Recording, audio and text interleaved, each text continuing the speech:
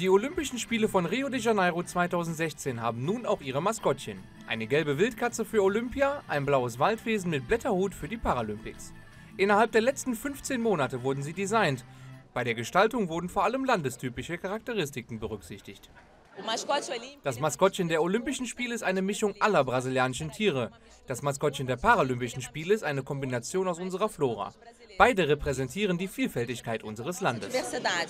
Die Maskottchen sollen während der Olympischen und Paralympischen Spiele in erster Linie das Publikum begeistern. Noch sind die beiden aber namenlos. Bis Mitte Dezember kann online abgestimmt werden, wie das bunte Pärchen heißen soll.